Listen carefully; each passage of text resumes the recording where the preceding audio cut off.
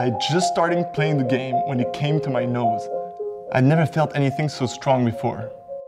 The fart stinks so real. Best immersive experience ever. In South Park, the Fractured But Whole, you are playing the new kid in town, the hero, and one of your special abilities is really the power of your ass.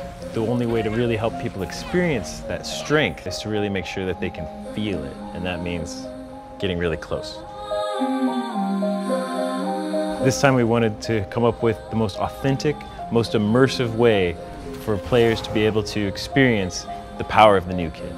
新作「サウスパーク・ザ・フラクシャード・バッド・ホール」の制作にかけ我々に大きな課題がありましたそこで我々チームは長い間昼も夜もその新しいこれはハマるという体験を求め一生懸命働きました数十の試作を重ねようやくできたのがこれノズルスリフト It was exactly as if someone had farted right in my face.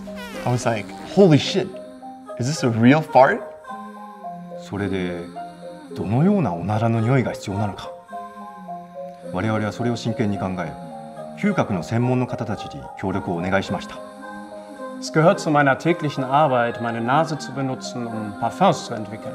Doch Die Suche nach dem ganz besonderen Duft für Ubisoft, die war alles andere als einfach. Das ganze Team hat hart daran gearbeitet, unser Parfürz zu kreieren. Ich habe mehr als 1000 Fürze gerochen, bevor es mir endlich gelang, den ultimativen Furz künstlich herzustellen. Auch große Fürze fangen klein an. Ah. love.